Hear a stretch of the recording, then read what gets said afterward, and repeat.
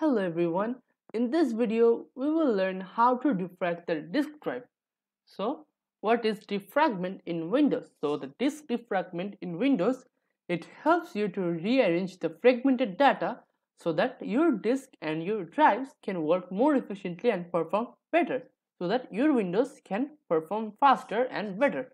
So to learn in more details you can come back here later so this is how we are going to implement this video. Now let's get started.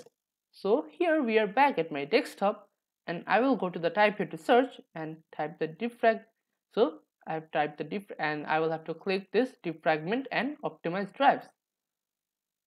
Now I will have to select the drive I want to optimize. I'm going to select the F and I will have to click on optimize and then I will have to click the yes and it is being optimized. So this is how you optimize your drives. Now let's have a look at the summary. In this video, we have covered how to defrag the disk drive. Thank you for watching.